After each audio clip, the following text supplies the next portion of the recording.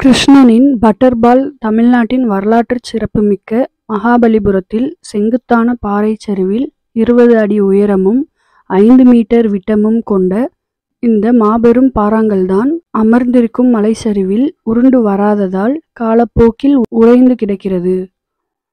அன்று வான் இரைக்கல் என்ற உண்மையான பெயர் வானத்தின் கடவுளின் கல் என்று மொழிபெயர்க்கப்பட்டுள்ளது.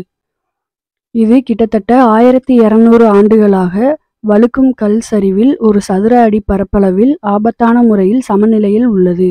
இருநூத்தி ஐம்பது டன்களுக்கும் அதிகமான எடை கொண்ட இந்த பாறாங்கல் ஆயிரத்தி தொள்ளாயிரத்தி எட்டாம் ஆண்டில் மக்களுக்கு ஏற்படும் அச்சுறுத்தல் மற்றும் ஆபத்திற்காக பாறையை அதன் இடத்தில் இருந்து தள்ளி வைக்க ஏழு யானைகளை ஈடுபடுத்தினர். ஆனால் அனைத்தும் வீணாகியது.